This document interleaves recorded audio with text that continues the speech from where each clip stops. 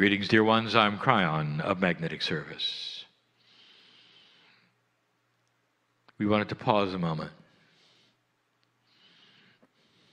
for the entourage to come in and for those who are sensitive here to feel it. It is so difficult to give information that is beyond what you expect. And even after it is given, it's unknown whether it sticks. Some information is advanced. This is the last channeling of the year. The last two times I have sat in front of you, have given you summaries. This really isn't a summary at all. It's the next step. I'm going to call it the completion of the story of the soul.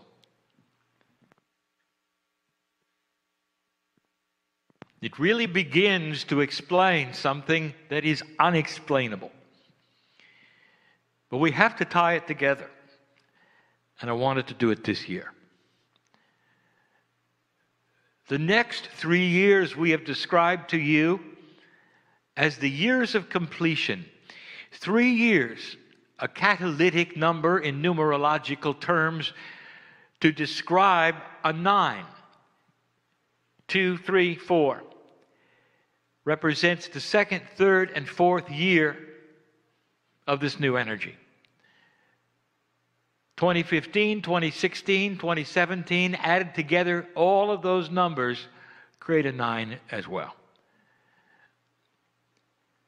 Something will be completed in those next three years that is esoteric, and I'm going to start the process tonight But letting you in on a little bit of information a little more advanced than I have before. Dear ones, this is difficult. The difficulty is mostly with my partner. He's a translator.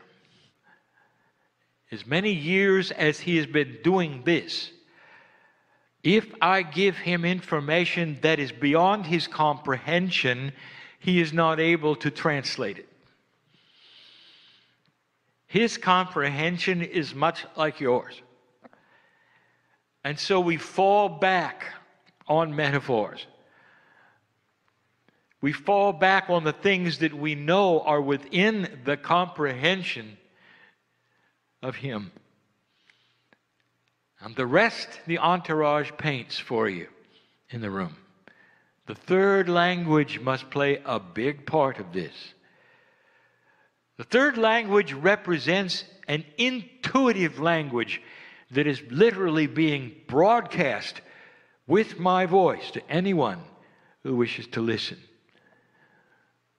Loving, informative, benevolent information that goes beyond the spoken word, available to listeners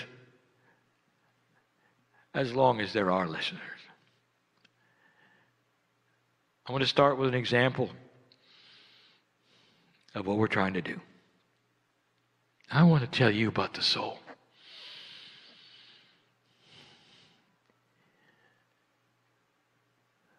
I want to tell you in terms that I've never used before, and I can't. You don't have the words, you don't have the experience, you don't have the energy, and no concept of where you're going. Not really. And it's so beautiful. Let us say for a moment, pretend with me, just pretend, that a ship lands from another planet. It's friendly,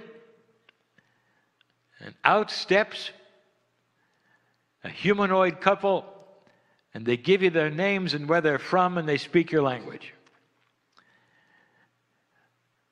And as you look at them, you know very well they do not have the seed of God that you have in you. It's not part of their scenario, but they have intelligence. And they're interested in humans. Let us say and pretend for a moment they are safe. They are on an exploration mission, and you are the only human that is able to talk to them. Pretend. They're going to get everything they know about humanity from you. What is it that they would ask you? Let me let's pretend. They're not going to ask you about history, they're not going to ask you about anything. They're going to ask you about things they don't have. And they're going to look at you and they're going to say, as long as we've been looking at you and watching humanity, there's one thing we have not understood. Please tell us about love. Where do you begin? And what kind of love? Are you going to tell them about the love you have for the planet, for your partner, for the animals in your life, for your ancestors, for your mother, for your father, for those who you've lost? And how would you begin how many kinds of love are there? What are the differences? and when you started, and even if they said we have plenty of time, where would you begin? And when you did begin, how would you describe the emotional field of love? You could say whatever you wanted to say, and they could understand the language, but you and I know that love is more than language. When you fall in love, there is a thickness of spirit, there is something palatable. You look into the eyes of your newborn, that's not just emotion, there's communication. Love has a field around it that's beautiful, it vibrates. Two humans together in love. They form a bond. There's actually a third energy formed because of the two they have for one another. They think about each other from long distances. It's more than language. How are you going to describe that? Let us pretend they sit there and they listen to you. As long as you want to talk, they're taking notes. When it's time to go, they thank you, shake your hand, and they mean it. Their research is done and they fly away. You can just imagine what they're saying to each other. they're not any closer to knowing about love than they were before. Because everything you've said is not discernible because they don't have it. This is the puzzle tonight. And all we have is what you can absorb. So we go to the third language and we want you to see what we're talking about. We want you to understand as much as you can. Let us review what we have said about the human soul. The soul is not part of that which is corporeal, and yet it resides in you at a corporeal level but it's not. It's not chemistry. It's not synapse. It's not intuition. It's not any of the things you've studied. It is something you can't understand. It's a piece of the Creator. The creative source which created all that is, long ago, created a beautiful, benevolent system, and it needed a universe to accomplish it, and galaxies, and planets, and life. And all of those were put together and accomplished correctly, properly, and not accidentally. The creative source that built the planets around you, the galaxy that you circle, is inside you. And it hides. It hides because it's part of the test on the planet for you to discover with free choice if it's there. To make it hide even more, there's only a certain percentage of it you can handle, so you're not aware of it. You're not aware of its grandness or what it is actually, but you are aware of it intuitively. Humanity knows God. As far back as you can look at your history, human, you came onto the planet and you looked for the Creator. Because it's inside. And then it happened. The Pleiadians came. I'll tell you about them in a way I've never, ever told you. The human soul permeates everything about you. It is not locatable. It is pure, multidimensional energy that is sacred and beyond anything you can ever, ever measure. It's not in a scale that you have ever seen. You don't have a word for it. You don't have colors for it.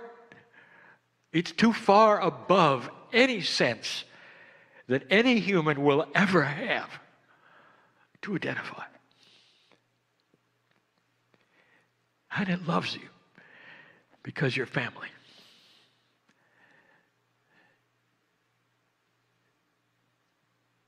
Closest thing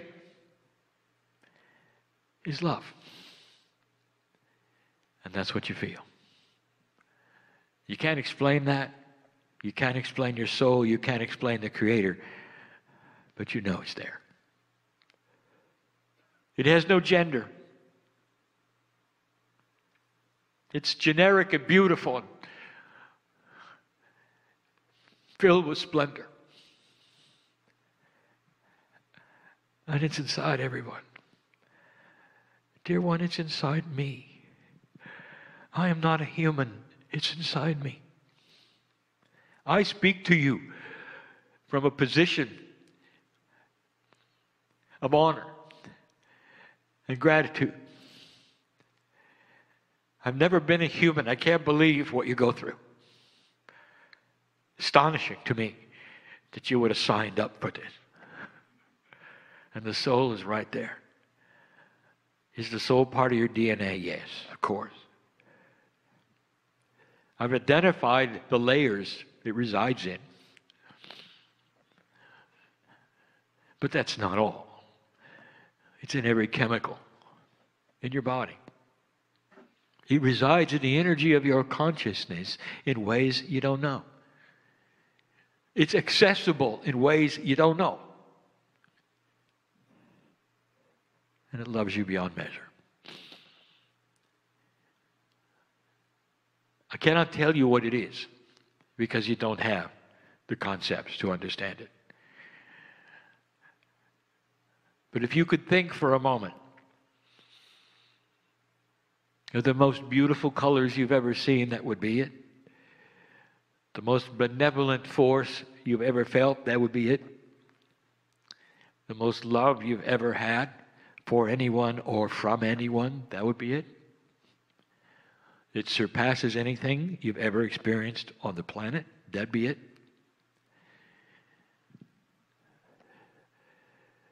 And the Pleiadians gave it to you a long time ago.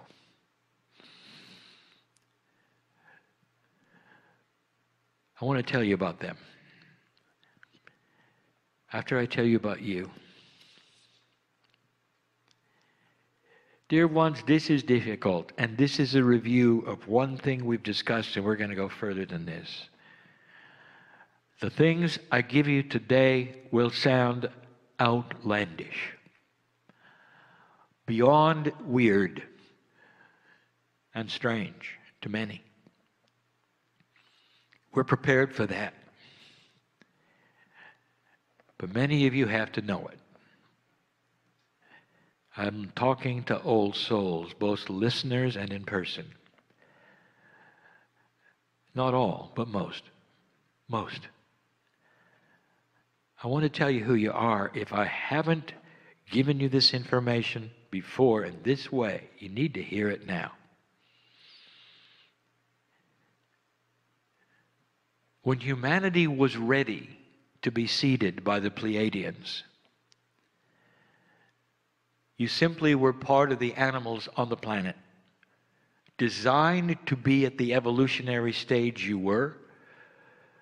You were way beyond that with cavemen. You were ready. You look like you do now, you act like you do now, and you were ready. And it wasn't that long ago. You want to paint a picture of 200,000 years? And 100,000 of them were just getting it so you only had one kind of human instead of 14 or 15, like all the other animals. Now, here's the question. When it was time to build Lemuria, and the seeding took place as it did, who do you think was here? To receive the seeds. Just regular humans that have come up through the evolutionary process, just another animal? And the answer is no. It was you. And you came from the Pleiades. I want to tell you something. When it comes to reincarnation, it's not limited to this planet. You were aware of that, were you not? You have to come from somewhere. When you have an exponential growth of humanity, where do you think the pool comes from? Other places. Life does not then emerge from nowhere. What if I told you there's a set amount of entities and soul groups that incarnate. And it's been happening for millions of years, other places, long before 200,000 years ago. You came from the Pleiadians. You agreed to drop that which you had evolved to, come back into a form that was basic and receive the seeds because you had to be of a certain kind of chemical readiness, soul remembrance, all the things you've never heard had to be correct for the seeds to take. For the meld of the DNA, the chromosomes to move around, for you to become who you are. This is the creation story. So let's put it in simple terms Adam and Eve were special. they were you. Having come fresh from another place, ready to receive the knowledge of light and dark. It wasn't random. That's who you were. You're not just old souls, you're very special old souls. You've come from the Pleiades. It's a system you wouldn't believe. You came from everything to almost nothing, and you did it because you saw the potential of today. How many lifetimes have you lived? Last couple hundred thousand years. Huh? What have you been through to get to today? Well, I want to tell you where it's going and the potential of where it can go. And I want to paint some time frames for you, and I don't want to scare you with how long it's going to be. but I want to show you the potentials of what you can be. And this is where it gets odd. When I say Pleiadian, who do you think about? What do you picture? Humanoid forms that are perhaps taller and very wise that will come here, not necessarily in vehicles, but they come here, that would come here instantly. What might that tell you about what they've got you don't? So now I want to paint a picture. Pleiadians, the seven sisters, made up of nine suns. Three habitable planets, all habitable by Pleiadians eventually, have been a society of enlightened humanoids for two million years. You got 200,000. A hundred of it really counts toward Lemuria. 50,000 really is where it began. Really. Almost all the rest of it was just getting ready. And I just told you that the Pleiadians have been at it for two million years. You're looking at a society that is eight times longer than you. Eight times. They went through what you did almost to the T. They grew up and matured just the way you did. They had a time frame for them too.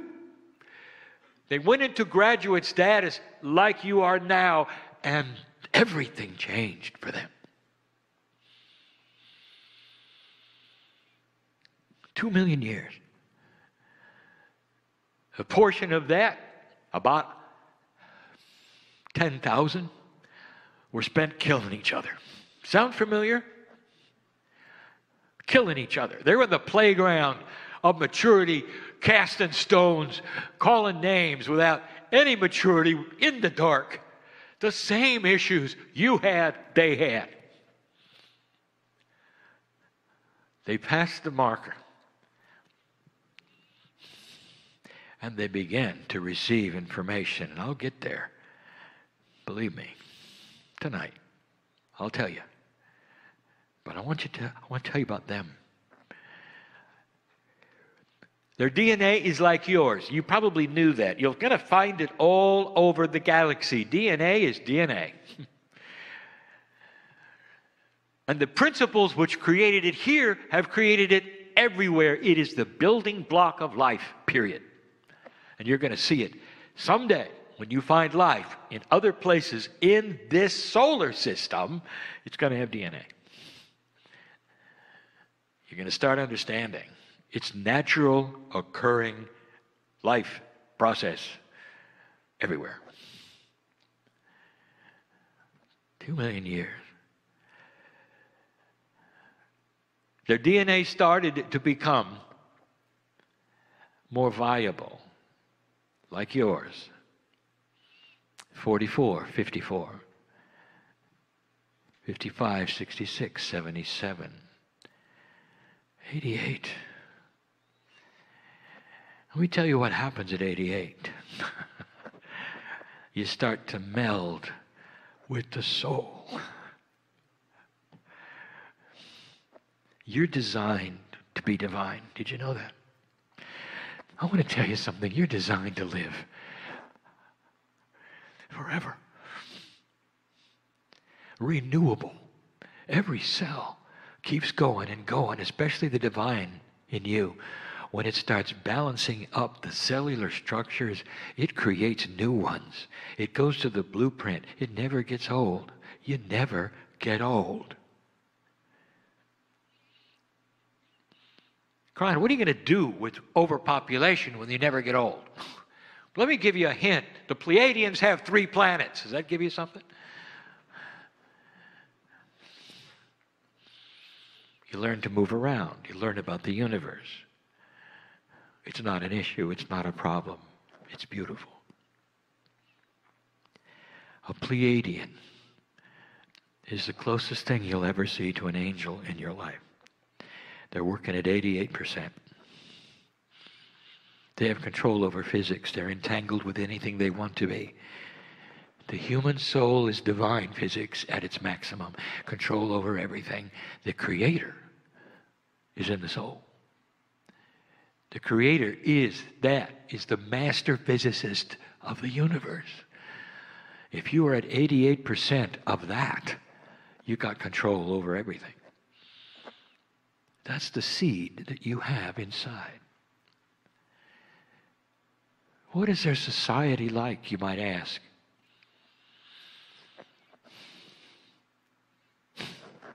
There is no society. Way past that. There is only the togetherness of love. Closest thing to an angel you'll ever see. 88% of the creative source over two million years. The Pleiadians were seeded by others. We've talked about Orion and Arcturus. They become your grandparents. There's one before those you've never even heard of. They took a million years or more. You do understand, do you not? In a planet that's over 4 billion years old, you're the new kid on the block here. You're really new. Imagine what was going on in your galaxy. Do you know how long a billion years is? Imagine what went on. This is the only planet of free choice in the galaxy at this moment. Dear ones, you're it. And you just passed a marker, and all the life in this galaxy that has divine DNA knows about you. The signal was sent. I want to tell you what that does. That brings celebration, hope, visitors, and help the system begins. All of this talk about soul, and here's why. I want to tell you about the system. My partner has spent the day talking you about evolution. Spiritual evolution within the cellular structure of your body creates a symbiotic relationship with your DNA, your Akash, intuition, all of these things, and he never really talked about the soul because we haven't given him this yet. The system of spiritual evolution comes through the soul, period. Doesn't come through the pineal. The pineal senses the higher self. Intuition senses the higher self but the soul is the one who delivers the information. The soul is connected to the grids. Your human soul is the catalyst and always was for the graduation energy that you are now ready to receive. It does not come in through the human portion. It cannot. The time capsules that are opening, that the Pleiadians have armed, if I may use the word, armed, literally ready to go off in your direction to give you information is going to go to the soul part of you. And the soul part of you is only engageable as you approach 44.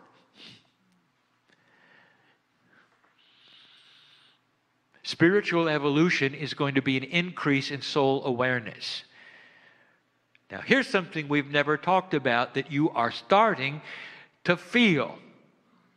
We're going to call it this we're going to call it soul remembrance.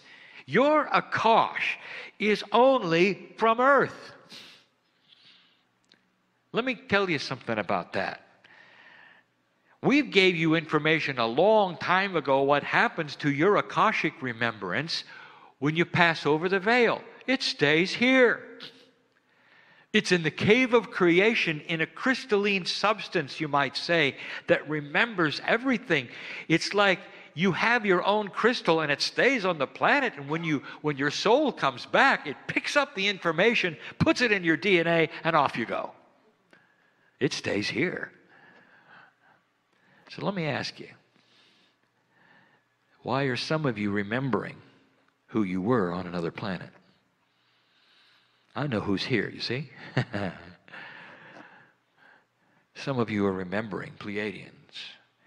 Some of you remembering that you went through this before. It's giving you hope because you know where it went.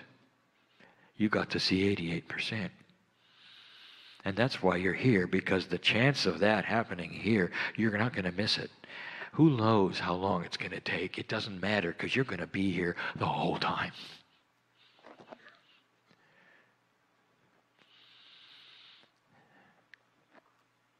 Eighty-eight percent.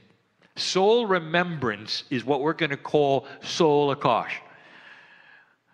It remembers past Earth. And this is starting to happen. With the evolutionary process of that which is taking place on this planet with old souls, in is going to come soul remembrance. You're going to remember your eternal. Who were you five million years ago? You were not Pleiadian. that is going to occur to you as well. You want to know you want to really know where your souls are coming from? All the planets of free choice that have graduated. They're not coming from the sky in some well from the creative source. They're coming from other places who have gone through this, dear ones. That's who you are. But the ones in the room and the ones listening, you wouldn't be here and you wouldn't be listening unless you had a certain attribute of soul remembrance that is already at work, not what you've done on the planet, but what you did in the Pleiadians. In the Seven Sisters, you went through this, you graduated, and you spent a long time going that direction closer and closer to the divine source. It's so attractive, dear ones, to come to a place where you're one with God. You've been there. You've done that. And you were the first on the planet to receive the seed. And now you awaken and you remember a little of what it was like, just a little. You struggle with the conflicts of being a human and also knowing where you can go and what you can do. Frustration. Sometimes chemical imbalance in the last two years, many have died.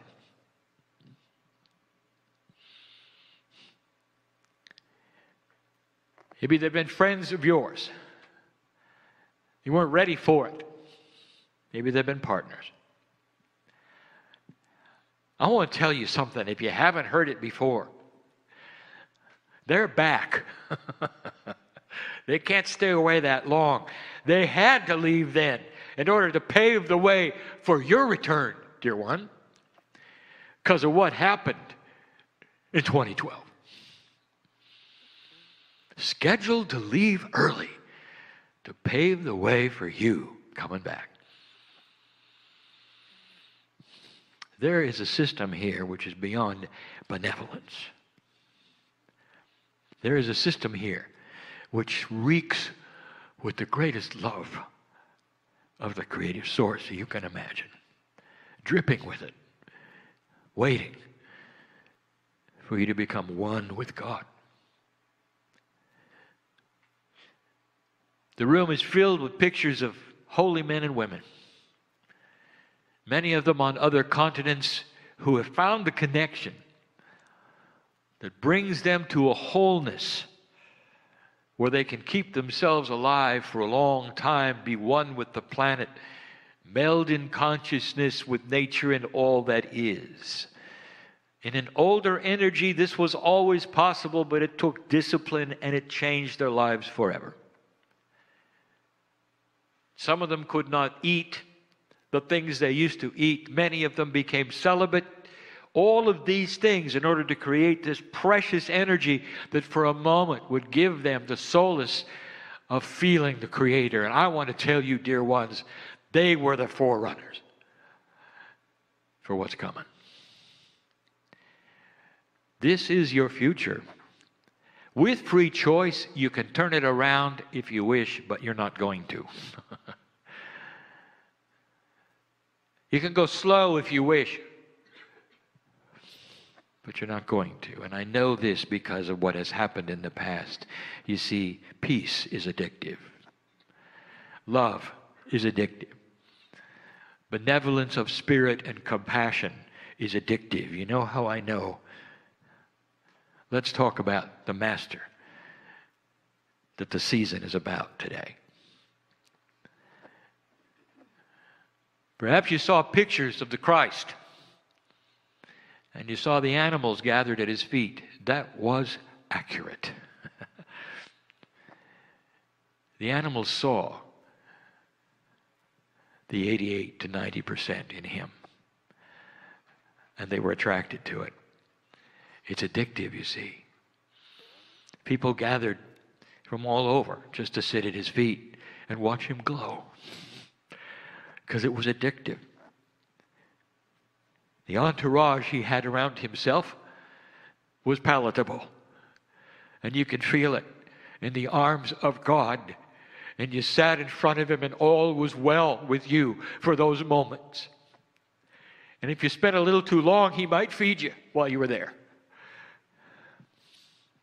And all of that was real.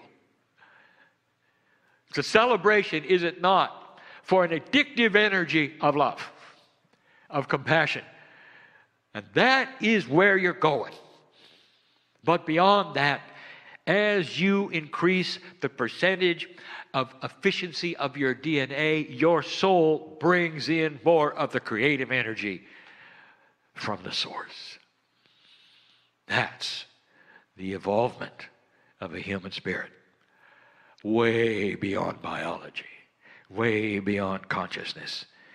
You handshake with the source that created the universe. I complete this story of the soul. That's where it's headed. That's why we teach it. Now you know. You might want to review the words. How long will it take? Too long. This is just the beginning. You're in year two, dear ones. In year two. and there's such a celebration that you made it. You will start to see humans mature in spirit. We've said it over and over. The things that are so out of balance today in humanism will start to be balanced and mature. You'll see it everywhere. In every aspect you can think about, even politics. Balance, compassion, wisdom. You'll start to see it. When you come in next time, you're going to remember who you are. That's my promise. You're going to pick up where you left off. You will be a wise old child beyond any children you know today, old soul. And you're not going to make the mistakes you did this time around. None of them. It comes in with you more than a Akash soul remembrance will keep you safe. And your children will carry what you carry. That's the way it's going to work. That's what's going to propel it forward past peace on earth to graduation into soul energy. Too esoteric for you? It's okay. I've got time. Check in with me in about a million years. And so it is.